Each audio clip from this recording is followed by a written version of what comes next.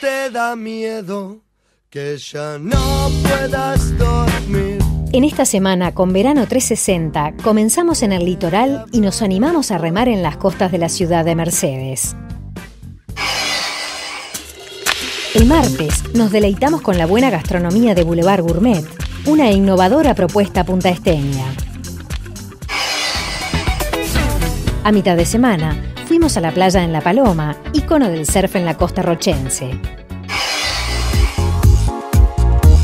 El jueves recordamos las maravillosas siluetas de los buques escuela internacionales del evento Velas, un paisaje distinto en la bahía de Punta.